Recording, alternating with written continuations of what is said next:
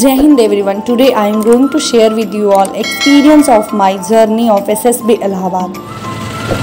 तो यहाँ से ज़िंदगी की एक नई शुरुआत हो रही है और मुझे, मैंने यात्रा अकेले ही शुरू की थी, परंतु मुझे महाराष्ट्र की एनसीसी से दो दोस्त मिल चुकी हैं, जिनके साथ मेरी इलाहाबाद जंक्शन पर रात गुजरी है और ये सुबह के चार बज के दस मिनट हो रहे हैं और हम लोग प्रयागराज जंक्शन से रेडी होकर करियप्पा गेट के लिए निकल चुके हैं और ये शांत इलाकों से सुबह के सन्नाटे को चीरते हुए हमारी ऑटो जा रही है करियप्पा गेट की ओर।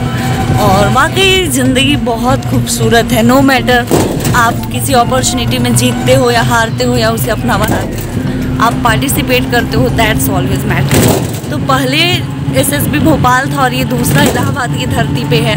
देखते हैं क्या होता है यहाँ से। क्या यहाँ से कॉन्फ्रेंस आउट होते हैं या फिर स्क्रीन आउट होते हैं या फिर सेलेक्टेड होते हैं? आई डोंट नो शाम तक का इंतज़ार कीजिए, सब कुछ अपने आप हो जाएगा। फिर मैं अपने दोस्तों से भी मिलवाऊँगी Maharashtra N C.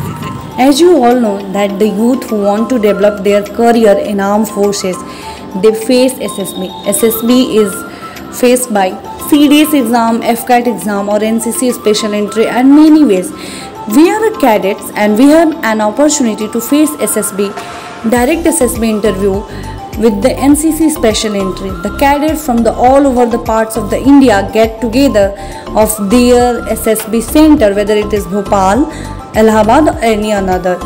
And uh, the test was started at the time and we have to face that test. And after the test we get a lunch break time. And in this that time we have a wonderful interaction with the all cadets who were there.